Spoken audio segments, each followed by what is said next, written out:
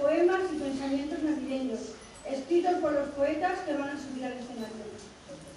Y ya, sin más dilación, la Orquesta Filarmónica Vicente Martín y Soler va a interpretar el primer movimiento de Juan Sebastián Bach titulado Concierto para dos violines. Solistas Andrés Fernández Márquez y Cristina Gasó Bustos. Dirige Carmen Más Alocas. Bien,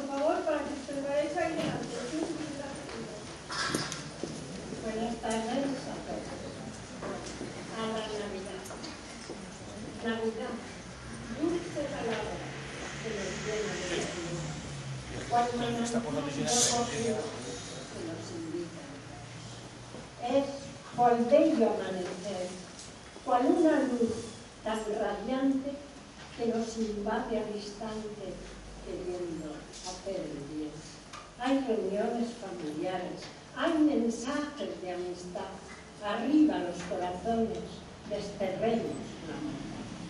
Es un tiempo muy propicio a la reconciliación, moviéndonos la esperanza, moviéndonos la ilusión de llegar a ser hermanos, de comportarnos mejor, al contemplar a ese niño como verdadero Dios. Lástima que todo el año olvidemos recordar dónde se encuentra la dicha, dónde se encuentra la paz. No a la Navidad pagana del consumismo feroz, que no les importa nada los valores ni el amor, y la toman como excusa para pasarlo mejor.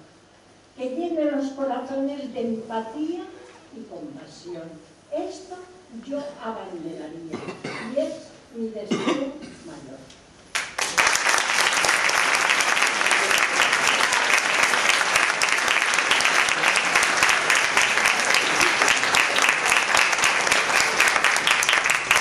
María Antonia Diego, por favor.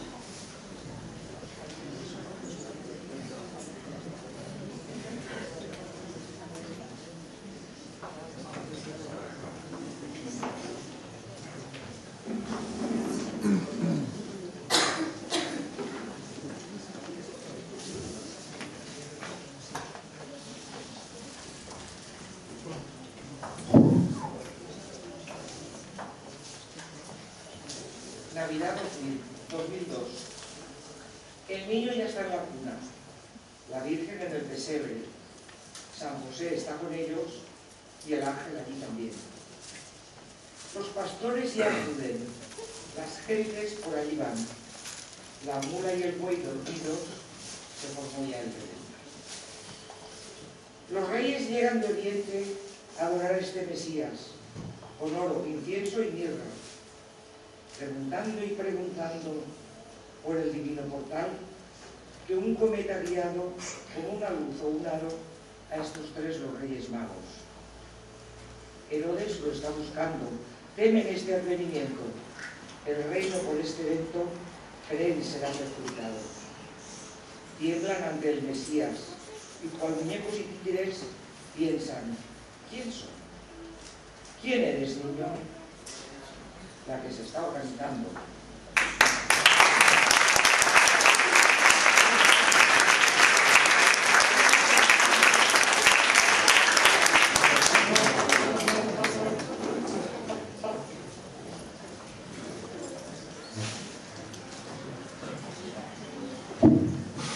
Llamamos a Josefina Alonso.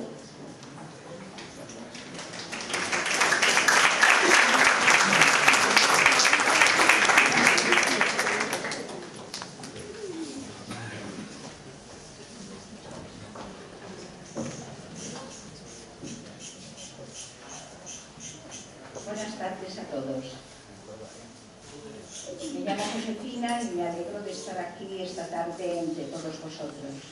Espero que disfrutéis como yo de esta velada. Día de Reyes se titula. Amaneció el 6 de enero con su dorada promesa, sueños de los zapatitos con una esperanza nueva, sueño de alegre inquietud y reprimida impaciencia. Carlitos es un pequeño que con otros niños juega.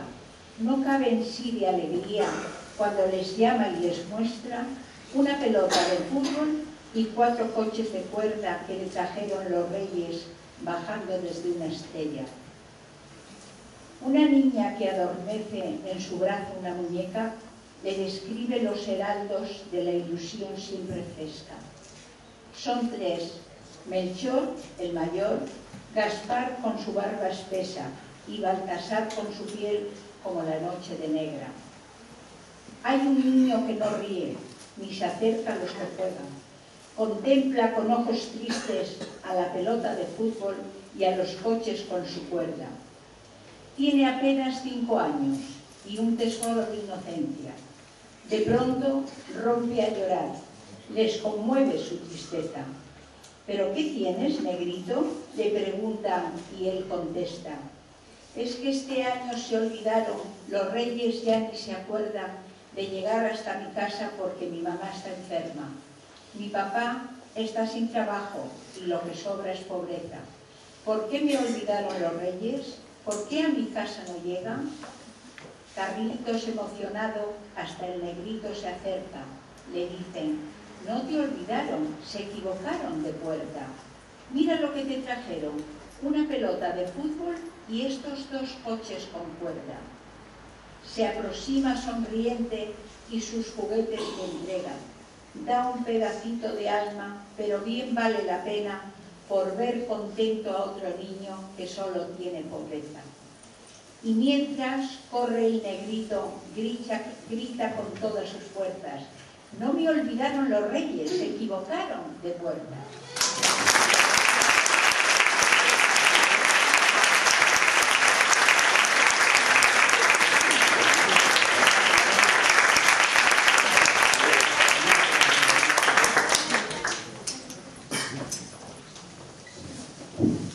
Ahora el turno de doña Rosa Series, por favor.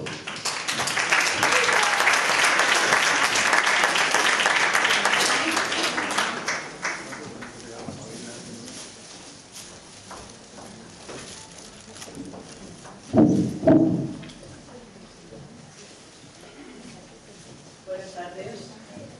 Disculpas por la garganta, voy a intentar. Y feliz año a todos. Con la cabeza inclinada. Con la cabeza inclinada y los puños apretados, Miguel a regañadientes entra en su nueva morada. Cuatro hijos como soles que cuesta tanto criar y a la hora de la muerte se quieren de alejar. Muy bonita su apariencia, su nombre es Residencia, parecida a un hogar, mas cuando cierran las puertas sientes ganas de llorar. Miguel, en medio de la noche, no duerme, oye gemir y llorar, y piensa, ¿qué habré hecho que no me quieren cuidar? Es la hora de visita, le dice Miguel a Pascual, de cuatro hijos que tengo, alguno quizás vendrá, y me llevará a su casa a pasar la Navidad. Han pasado tres horas, las visitas ya se van. Y Miguel en el jardín se ha cansado de esperar. Empañados los ojos de tristeza, entra en su habitación y le pregunta a Pascual, ¿dónde queda la estación? Al llegar a la estación se encuentra tan confundido que llama la atención. Miguel se siente perdido. Echó mano al bolsillo y entrega una dirección. Es la casa de su hijo, de los cuatro el mayor. El hijo abre la puerta y se queda sorprendido. Miguel abraza a su hijo y le dice con dolor, no quiero vivir tan solo, necesito vuestro amor. Apelo a tu conciencia y respeto a mi voluntad En un rincón de tu casa sentiré la Navidad.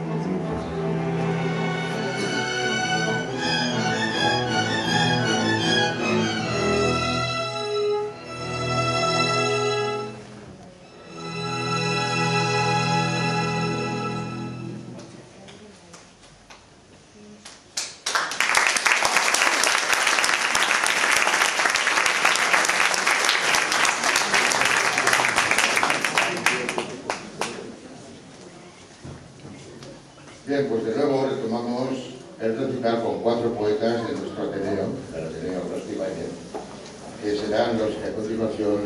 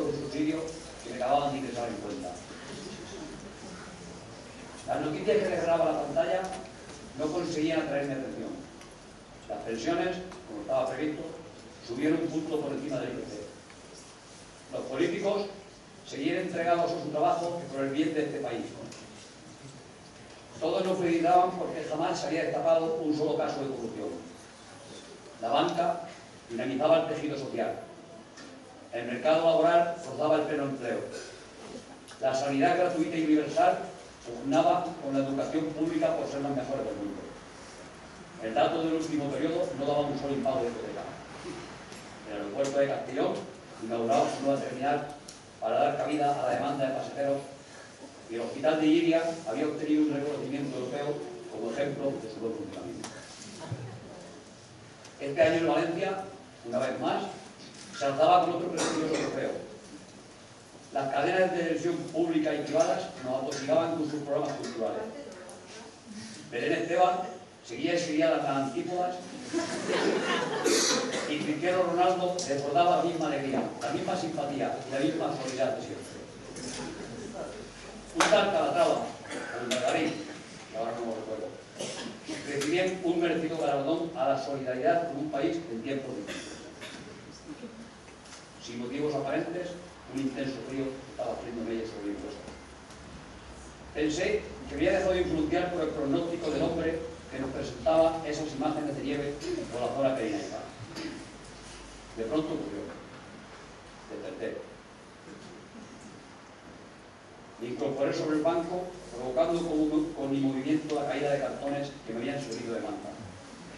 Miré a mi alrededor y comprobé que mis compañeros de los bancos vecinos ya recogían sus edredones del mismo material que el mío. Me sentí culpable al pensar que tal vez ellos me hubiesen disfrutado tanto de su sueño. Pero ahora no les podía hacer partícipes del mío. Era Navidad. El comedor social al que nos encaminábamos nos había prometido para esta mañana una acogedora taza de chocolate caliente. En algún lugar del parque sonaba lejano un villancico que hablaba del niño Dios.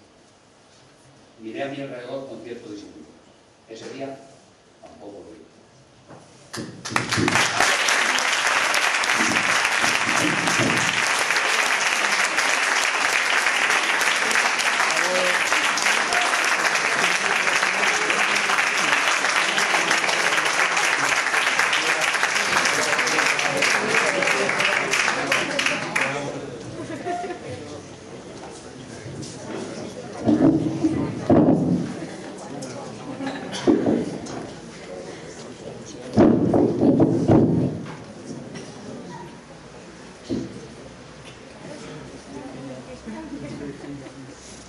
Bien, pues queridos amigos, será ahora el turno de doña María Dolores Hernández, a quien rogamos que suba al estreno. Por favor.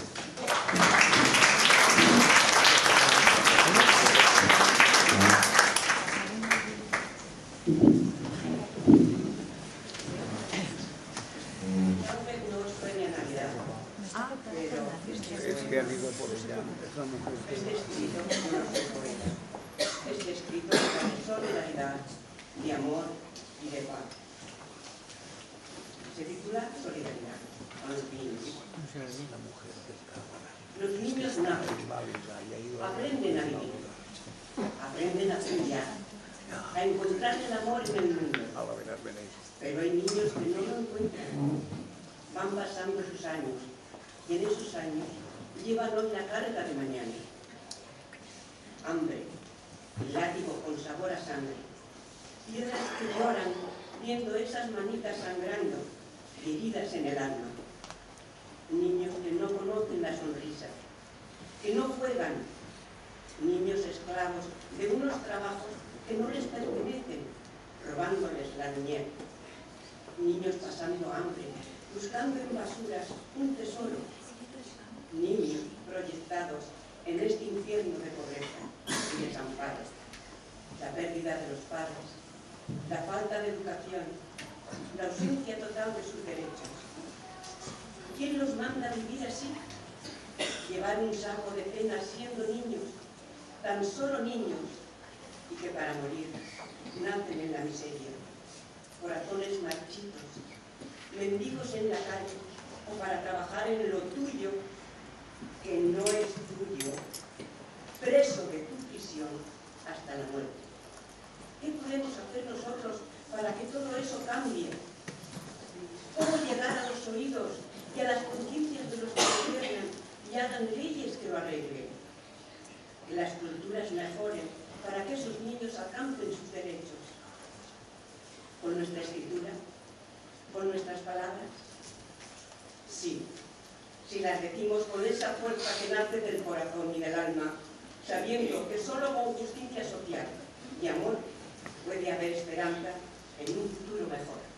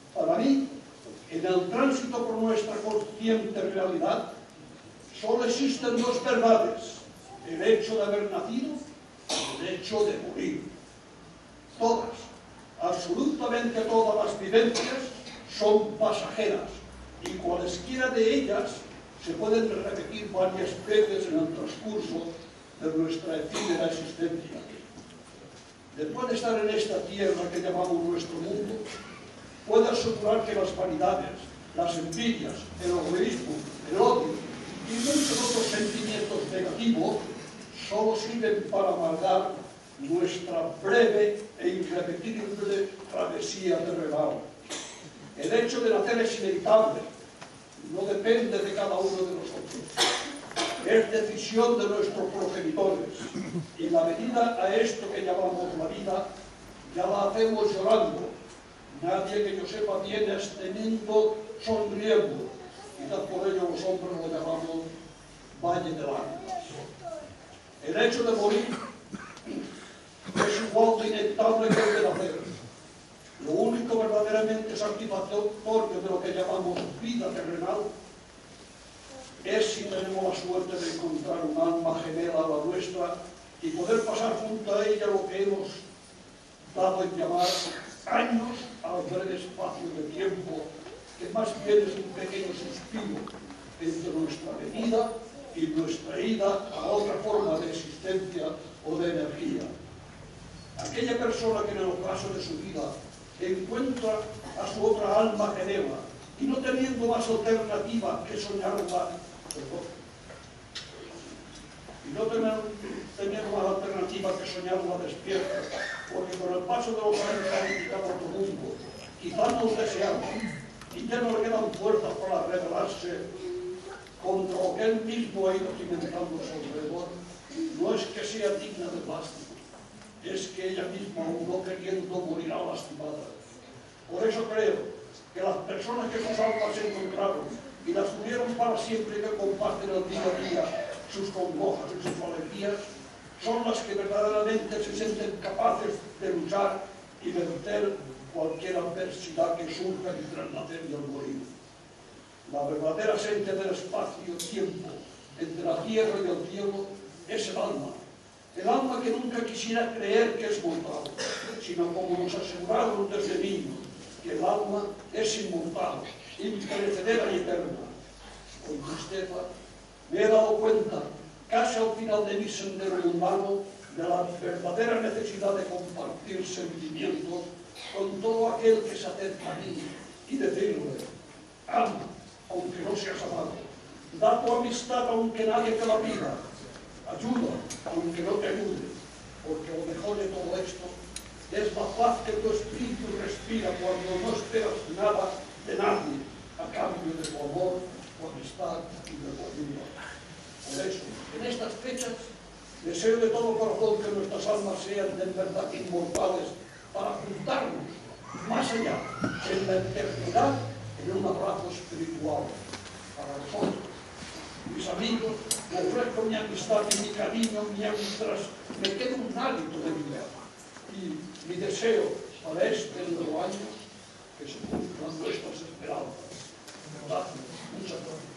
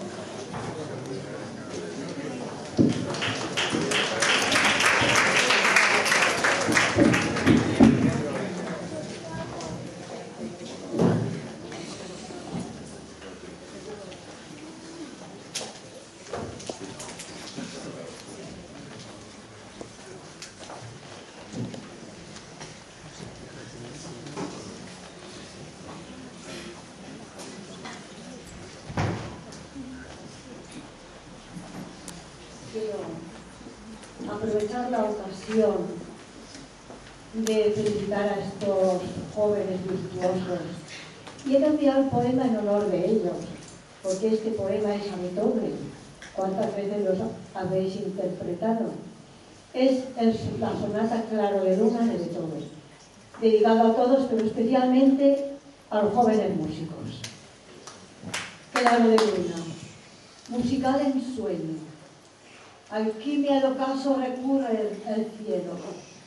El sol se llevó prisas y tensiones, dejó en soledad las venas inquietas. Ternura nueva florece a estas horas. Oír la sonata claro de luna es encontrar las caricias antiguas como fuente inagotable de amor. Sentir el cielo derramado en los hombros y sin preguntas vestirse de nube. Respirar feliz música y pasión, porque esta noche es la única noche. Claro de luna, sutil y amoroso, libre cupido de estrellas celestes, flotante mensajero de caricias, suavemente ilumina la.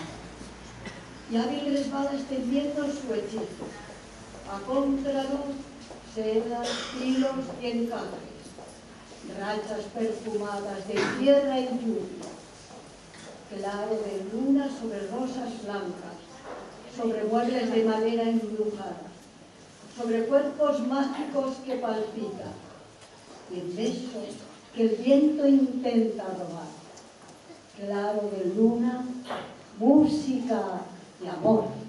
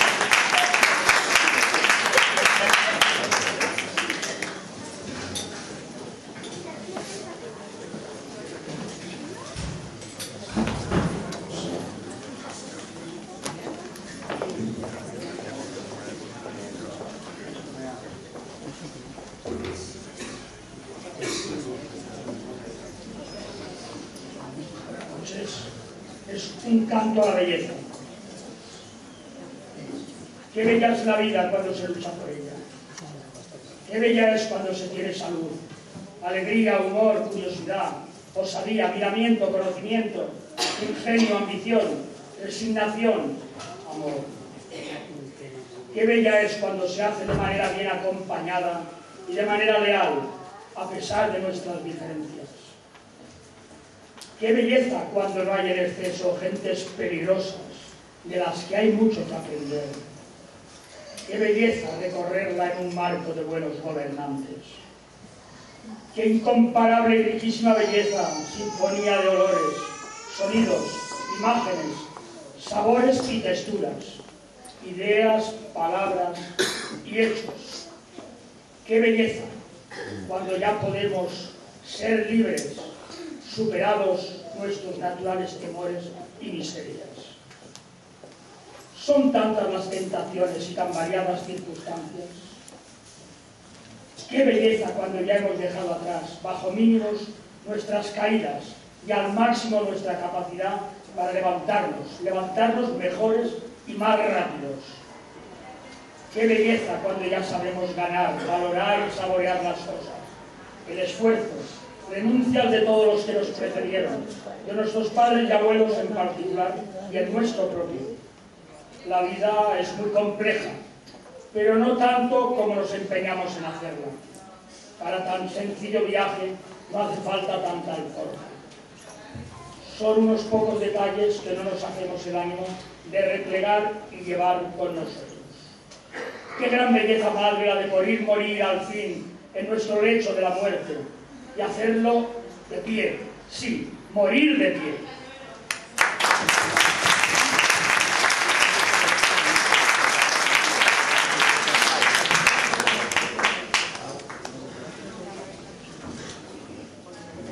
Seguimos, y para ello le a doña Amparo Pérez su balestro.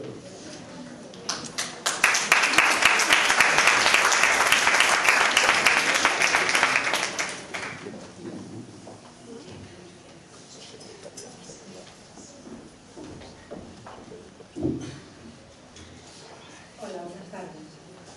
Desde luego que hay magia esta tarde. Y los músicos estáis emocionados. El poema lleva una, unas líneas de un poema de Isabel y dice Bienvenido a este mundo, querido niño. Has llegado en diciembre, no sientas frío. Ha nacido una estrella, la Navidad. Empiezo el poema. Rezo con las manos juntas y con los ojos cerrados. De pronto me doy cuenta de que no tengo casa. Se han llevado tu mecedora y la mesa camilla. Unas manos grandes han descolgado el crucifijo y se lo han llevado todo, sin piedad. Se fueron los camiones grandes como dinosaurios. Se extinguieron en tendédalo de calles estrechas, los árboles quemados yacían sobre el asfalto. Estábamos como en misa, en silencio y de rodillas, mirando al cielo azul, sin nubes. Todo era como siempre, no pasaba nada. Era un día normal, como un domingo cualquiera. Pero hoy es el primer día de nuestra vida, o tal vez el último con un libro en las manos. Me abrazo a la Biblia como si fuera mi oso de peluche. No ayuda, me ayuda a no echarme por la ventana. No quiero salir en la tele, solo si triunfan mis versos y hablan de mis poemas azules como la tristeza. También tus ojos son claros como la inmensidad del mar. Cristo surcó las aguas, hizo el milagro de los panes y los peces. Por mis mejillas hay surcos de lluvia, tengo frío. Dios me ama, Él es mi camino y te quiero. No sé dónde conectaré hoy mi móvil. ¿Me servirán ahora las palabras, mis libros, mis poemas? Solo hago que rezar y poner entre las páginas del libro una estampa de la misma. Ella me da suerte y me habla. No temas, tienes la vida y la Navidad, el amor y tus sueños. Hago el mar, el cielo, la vida. Tengo sangre en las venas y tú me abrazas. No hay que huir de estas fechas, de estas fiestas navideñas. No estoy triste porque tú me amas. Y me dices que yo he hecho mi vida. ¿Qué es ahora? Ya se fueron a Belén. Dios ha nacido. Pronto vendrán los reyes y los juguetes serán para mí. Una casa de muñecas con una mecedora y una mesa camilla. Un tren para recorrer el mundo. Un barco para surcar el horizonte. Un avión para acariciar las nubes. Y otra Biblia, esta, esta muy gastada. Y un disco de Vivaldi y otro de Bach. En la iglesia nos reunimos todos, todos los domingos. Escucho voces y cantos del gallo. Cuando alguien llora, no le miras, te da miedo. Alzas el vuelo y te haces invisible. El sermón del domingo ha sido muy duro. Necesitaré horas para ser yo misma. Aullan los lobos debajo de los semáforos. Hay cocodrilos que venden periódicos. Salvajes rumores se mezclan con el viento. dijo a comulgar, tú me sujetas fuerte. No temas, hay un mundo aparte detrás de estas paredes de iglesia y de adornos de Navidad. Suenan las trompetas, se reúnen todos, las serpientes y los buitres. Dios pone orden y me mira con sus ojos oscuros. No duerme nadie por el cielo, como dijo el poeta. Solo hay huellas de pisadas, de rastros y Rezo con las manos juntas y los ojos cerrados.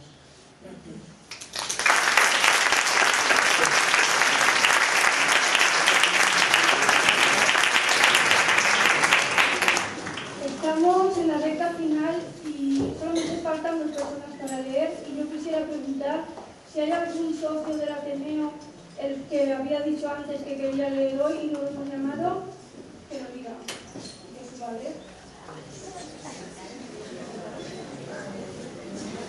¿No? Pues entonces, el secretario del Ateneo, Blas Tugañez, Celestino Álvarez Juegos es quien a continuación intervendrá en la lectura de su trabajo.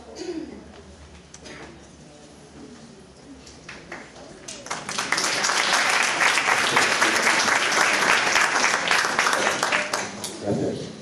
Quisiera hacer un juego, y es que los poetas que hay aquí, que no me tiren piedras. Es un poema que se me ocurre escribir, y lo titulo Soñé con la Navidad. Soñé que era Navidad, que hombres como hermanos entrelazaban sus manos desterrando la maldad. Soñé que la paz reinaba, que un ejército de amor, con ilusión y valor, a la guerra derrotaba. Que vencida estaba el hambre, que no quedaban humanos, fueran laicos o cristianos, que pesadumbre pasasen. Soñé que la Navidad a todos hermanaba, que su gracia derramaba alegre en la humanidad que los niños sonreían, porque los reyes les daban pan, juguetes y contaban que desde Oriente venían. Soñé que todos los hombres himnos de paz entonaban y en voz tan alta cantaban que me alertaron sus voces. Y al despertar me di cuenta que todo fue un dulce sueño.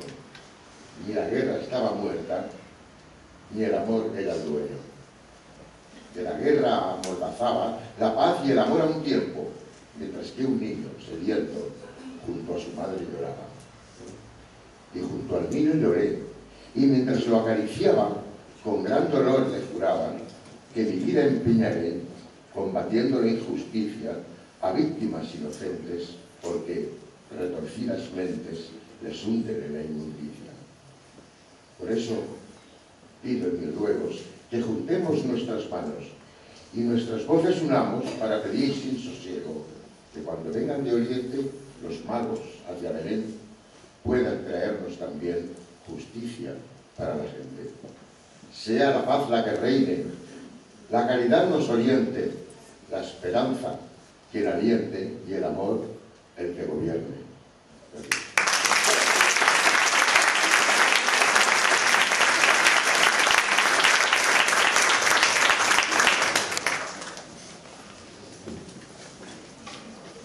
en la recta final del recital interpretará para ustedes su obra la dama que, que ostenta la presidencia de nuestro Ateneo, Isabel Oliver, por ustedes.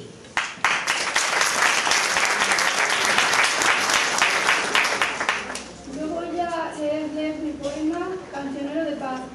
Y quisiera pedirles un pequeño favor, es que este poema es muy simbólico y al final del poema, cuando, bueno, ya les diré yo cuándo, me gustaría que se cogieran todos de la mano y nos alzasen así arriba sin alzar. Traigo en los labios y en el pensamiento el mensaje de paz que dicta el alma. Metiéndome en los brazos como un niño, paseo ante vosotros mi palabra. No tiene pastorcillos ni pesebre, no hay mula, bueyes, reyes ni cometa, ni cuenta una historia milenaria de frío, de traslado y de pobreza. Tiene las manos firmes, preparadas para asirse al calor de trascendidas, lenguaje de cristal estrepitoso, rompiendo en añicos cada día. Y quiere que este día sea otro, distinto del de ayer, donde la herida sale su cicatriz de mundo hundido y los brillos entonen alegría. Sea esta la Navidad de la palabra, donde gane el poeta su batalla. Sea la Nochebuena del propósito, de la intención en cumplimiento cuaja. Sea la Navidad de la sonrisa para el niño, que confiado crezca, para el joven, que acaricie el futuro, para el viejo, que un nuevo día vea. Una canción de cuna orquesta el mundo, donde el error la solución acabe, donde el trombón anula los misiles y la razón con la voluntad capte. Una canción entone las culturas, donde el tambor entierra el sufrimiento, y el clarinete y la dulzaina firme un edicto de paz y entendimiento. Hagamos del deseo una gran fiesta, donde el día y la noche sustituya, donde suenen violines de Vivaldi y las palomas canten alegrías. Quitemos las espinas a las rosas y que los ojos sueñen primavera, que rían cantarines los arroyos. Hagamos del amor una bandera. Ahora, hagamos un abrazo para el mundo. Vamos a la mano, por favor. Hagamos un abrazo para el mundo. Con las manos unidas en cadena y así todos juntos regalemos una ancha sonrisa a la tristeza, un cuento de comida para el hambre, un trozo de humildad para la soberbia, mucha sabiduría la ignorancia y un poco de consuelo a la grandeza. Sigamos al impulso complaciente un año más, un rezo de su buena, un canto de hermandad para los hombres de buena voluntad sobre la tierra.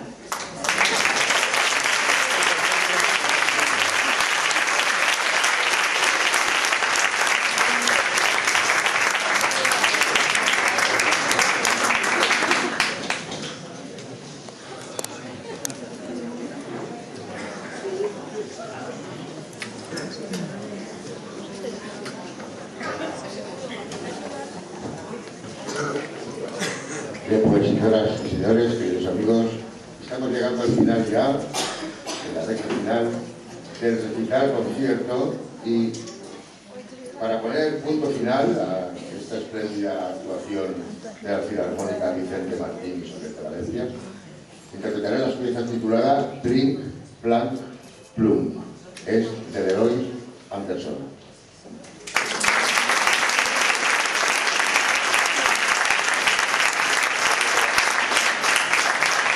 Antes de continuar, como ha habido un pequeño cambio eh, al principio, porque hemos hecho tres tiempos de la serenata para cuerdas de bolsa, ahora, eh, ya para finalizar, vamos a hacer dos piezas. ¿vale?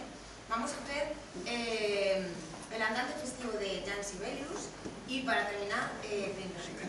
Vamos a coger las dos cosas. Vamos a empezar eh, como este acto.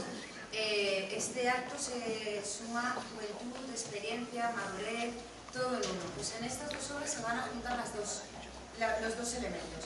Jan Sibelius fue uno de los compositores más importantes y es uno de los compositores más que ha tenido Finlandia.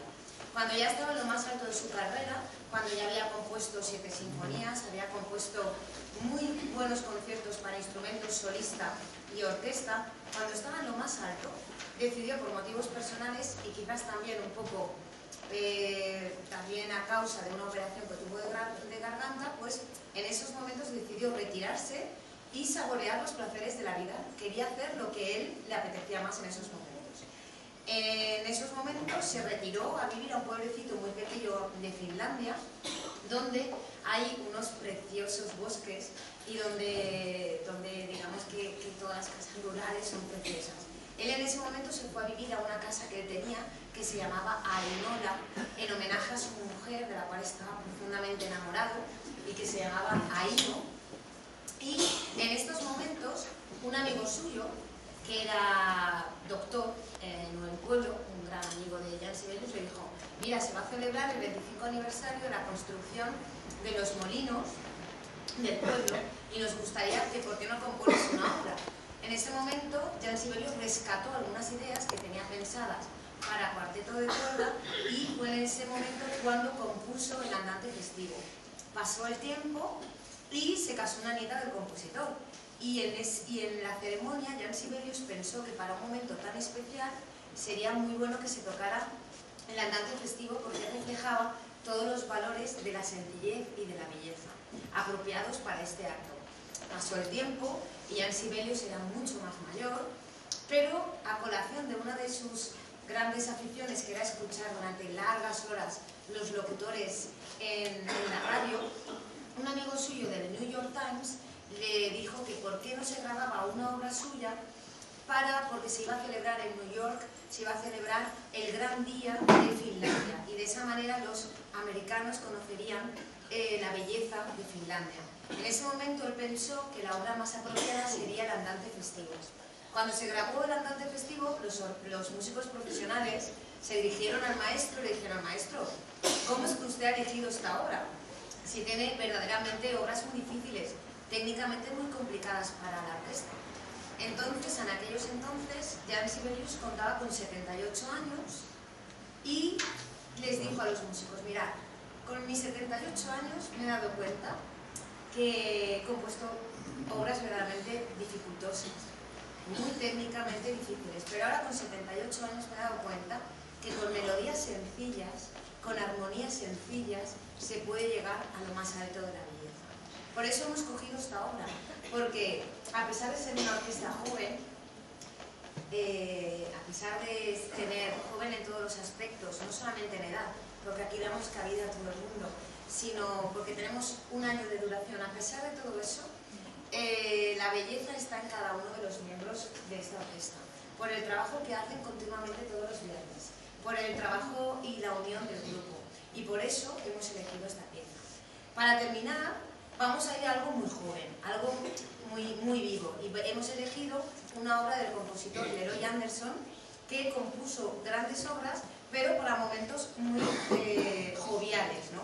Tiene obras para anuncios de televisión, etc. Y hemos cogido una pieza que creo que les va a gustar. Muchas gracias.